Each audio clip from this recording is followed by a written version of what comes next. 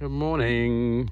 It's Saturday the 27th of November 2021, 11 a.m.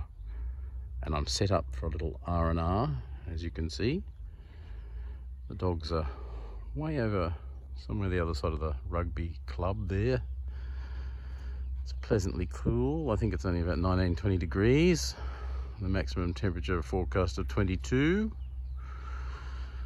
And this is day one of four days off, so a lazy morning. A little bit of tidy up at home. A couple of hours down here and have a 1 p.m. lunch, I think. So anyway, enough.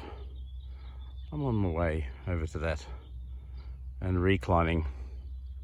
Shall post photos later. Bye now. Bye now.